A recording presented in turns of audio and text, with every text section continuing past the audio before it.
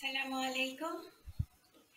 Metodologi memahami hadis oleh Muhammad Rozami Ramli mengandungi sembilan bab yang menerangkan kaedah-kaedah memahami hadis. Banyak ilmu baru yang saya dapat. Saya rasa buku ni tak begitu mudah untuk difahami oleh orang awam.